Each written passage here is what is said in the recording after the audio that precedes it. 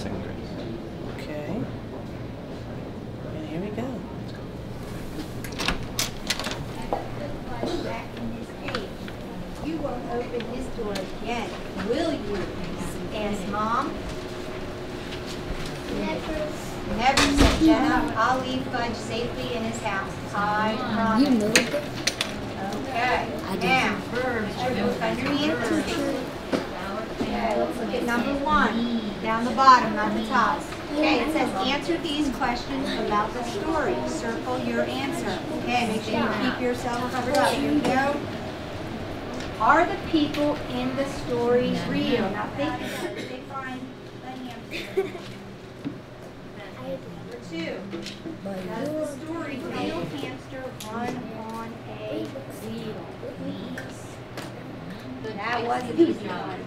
Okay, now please turn your paper over and here's what you're going to do. You are going to tell me and explain how you know which one it is. Use those examples from the story that I gave you. So is this story fiction or nonfiction? Which one it is? Okay, the hamster escaped. Oh, there we go. There's a brain light. Woohoo. Let's hear it. Hmm?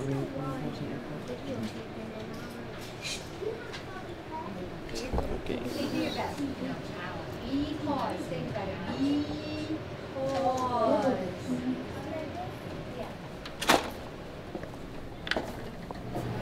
No. Well, I didn't see any technology being used in, No. in the classroom. no. You want to confer, do we conferring all together or? For um, non-negotiables, I had setting objectives, providing feedback, and providing recognition. That's what I had. Okay. And then for um, instruction, instructional strategies, add cues and questions? I, I jumped to uh, context for that one. Okay, at small group. At small group. Yeah. Technology used by student and teacher, none. Mm-mm. Type of knowledge? After the application, because of um, what was happening in the centers, You put what? application. Oh, apply? Yeah. Yeah. Yeah. And then um, student writing and drawing. I noticed when I was in the classroom, the following non-negotiable items that were listed. I noticed that the teachers did in fact provide feedback to their students, and I did notice the teachers reinforcing effort on the part of the students that were working in the groups. I think so too. More children on computers this time. Right? But why do you think your teacher's having you to write? Why does she think it's important for you to write every day? It's so you learn. Oh. So you learn a lot. So you learn a lot. You learn a lot. I asked the children who were writing in a small group. Uh, they they knew that they were supposed to be writing. They knew that they wrote on one paper at a time. But as far as why they were actually doing it, um, it was just general answers. They weren't sure why they were doing that particular task. Yeah, some of the students were unable to articulate the learning goal for the lesson. Although I did notice on the board that there were some recorded objectives, the students were unable to really grasp what the um, learning goal was for the lesson. Um, seemed to be a little fragmented. I noticed that um, some students were working on a picture. Um, one little girl was supposed to be listening to a story on tape but didn't have their phones on. So, in terms of the goal that was placed on the board, the objective, it wasn't something that was consistent across the board within all the learning groups. And what did you have for instructional strategies, pedagogy? I had practice because Okay. it seemed that all the students had uh, were familiar with the tasks that they Mm-hmm. were performing. It didn't seem new to them, so that's why I chose that that criteria. Okay. I also had um, practice because the students were working in learning groups. Um, I noticed that most of the students were successful. It appeared that they were probably reinforcing some skills that were taught to them previously. I noticed in the groups that a lot of students didn't really need to have the support from the classroom teachers. So it appeared that they were um, familiar with the tasks at hand. And under context, I had small group and um, paired. the information contained in, in this um, iPod reflects that there's technology that's used for the teacher, and there's also technology that's used by the student. So I did notice one student working on the computer, and it was a learning game. Okay. Uh, under type of knowledge, I had apply application. Uh-huh, that's what I had too. Great, Again, great. because we, um, they all seem to, again, have had experience with the tasks that they were uh, performing and that they were applying knowledge that they already had to that particular task. Exactly, and I just want to affirm what what you're saying because those are the same things that I noticed. And under evidence of learning, I had performance tasks. Um, again, because uh, in each of the settings, it would be very easy to go up and see whether or not the child was um, successful at Right. that particular task. The children working with the teacher. Uh, and the aides, again, it was very easy. Were they able to respond to what was expected of them? And, and they were. Okay, I also had under that one that it was performance task, but I also had another one as well. Student writing, drawing, because I did notice a group of students that were recording information in their journals. I guess they had basically read some story um, that they had to respond to. So the students were, you know, recording information in their journals. Plus, I also noticed them writing. Um, well, I saw them drawing um, some pictures. Okay, and I also um, noticed that there were some teacher-directed questions that were occurring in a small group. The teacher basically asked specific questions pertaining to the story that the students had read in the back of the classroom. click the down here on the left and then upload new walkthroughs. And it'll say upload complete. Did anyone notice any overarching themes today? We noticed in the classrooms that we visited um, was the fact that it was very difficult to detect what the objectives were. In some classes, the objectives were recorded on the board. Um, in one class, we noticed the objective, but there was a lot of stuff on the board, so it made it kind of difficult to be able to see exactly what it was. And then in another class, the person had the objectives listed for the week. So when it's time to interview students and get them to tell us what the learning goals are, it was very difficult for them to articulate the learning goals. Did anyone else notice that during their observations today? When we did the observe the, especially the upper grades, sixth, seventh, and eighth grade, math, science, and language art, their objectives were very clear, and students could actually relate to them. But in one of the classes, a third grade class, they had objectives, just like you said, by the week. We mm-hmm. actually had to stop and ask the teacher where the, because the word, even the word objective wasn't even listed. It had all these things written all over, and I couldn't tell what they were, standards and this and this and this, but when we asked you guys, there are the objectives for the week, so it was kind of hard to determine which objective was for that lesson, and therefore could the student articulate that. Okay. One of the things that I noticed that was positive, there was a lot of small group instruction occurring in all the classrooms, right? So that was something that was definitely positive. We saw some students working independently.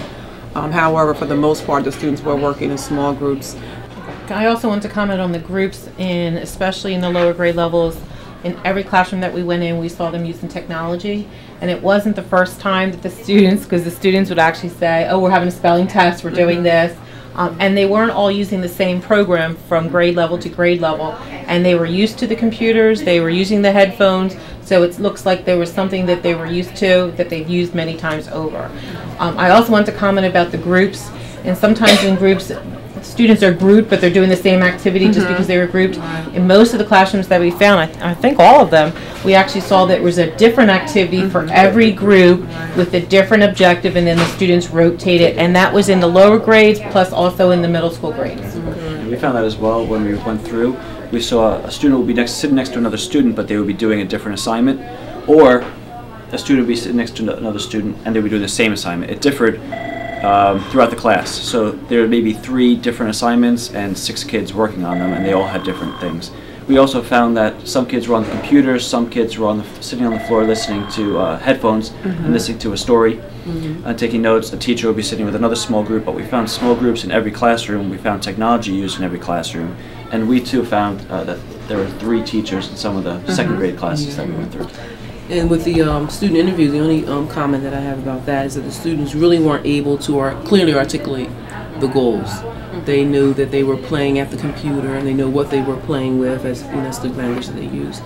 But they weren't able to tell why they were doing uh, what they were doing. They weren't able to tell why they were reading a particular story or what genre a- as you continue to probe. So Well, what was your take on the student work? I noticed most of it was in the hallway and not in the classroom. What did you guys feel? How did you guys I feel about noticed that? they, I noticed student work in both settings. Oh, okay. On the outside of the classroom, and it was inclusive um, on the walls in, in the classrooms that we visited. Did you notice anything different? Pat, Pat was the person that. No, I agree. There were there were um, there were examples in both the classrooms and on the walls in the hallway in the classrooms that we visited. One of the things that I noticed in one of the um, bilingual classrooms was what a wonderful effort the students put forth, even though they weren't proficient in English yet. It was very obvious what they were communicating. It may not have been grammatically correct or the spelling wasn't perfect, but they had certainly given forth a good effort and the teacher had valued it. The one thing there, the math in the middle school was a little weak, saying they were more consistent as the same kind of comment for every single paper. But when we went through the language arts and the science, they were specific to each student. And they were very, very detailed um, in their feedback. There's been two focus areas that we've had. One is the middle school, more focused on differentiated groupings. Uh, they were very um, used to kids being in groups of four or five, but everybody doing the same thing. So the differentiation has come a long way in the middle school groupings. But all of the grade levels, teachers getting used to being able to put comments on papers and then display them. Because when we went to school, that was a mm-hmm. no no. You never displayed any kind of comment that may be interpreted as negative mm-hmm. on a paper. So that's been something that's been mm-hmm. slow in coming, but they're getting better at it. And we've compromised a lot with making sure things are on the backs of papers. Still being displayed, the students know what's going on, but it's not easily visible to maybe visitors that are in the classrooms or in the hallways. Um, but they've come a long way with that. But that was slow coming. really obvious that the teachers had differentiated, uh, especially at kindergarten, first grade level, and one of the, the bilingual classes.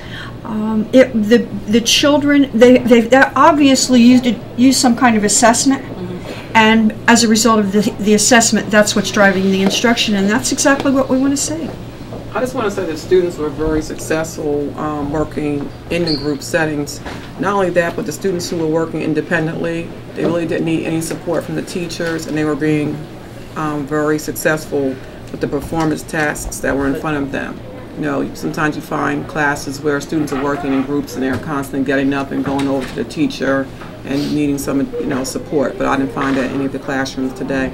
But what about reinforcing effort and providing recognition? And uh, one of the classes it was clearly we providing recognition, setting objectives and reinforcing effort.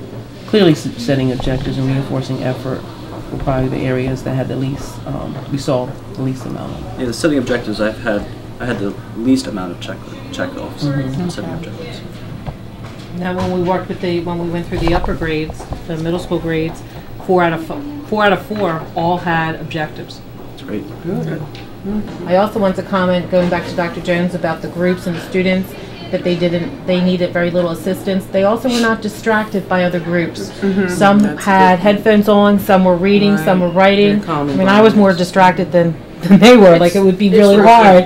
But for them, especially in the lower grades, they just concentrated on their group, and then when they were moved to the next one, they just re- refocused again on their new task to do. So it took a lot, to me, for the little ones, it took a lot of effort, but they were not distracted versus I've seen before in the past, I'm fi- I want to go on the computer next, I want to do this. Um, what about the classrooms in terms of technology? Because we noticed a lot of students using technology, however, teachers weren't using the technology. Is that something that was Yeah, consistent I was across the? um, We only found one classroom where the teacher was using technology, and that was a science class. Okay, She was using an Elmo. okay. What about the type of knowledge that was occurring? Um, You know, we talked about remember, understand, apply, analyze, evaluate, create. Um, For the most part, what did you observe? I know Pat and I, I think we had We were- apply most of the time we went into the We were classroom. We were between between understand understand and and apply. apply. Okay. Okay, evidence of learning?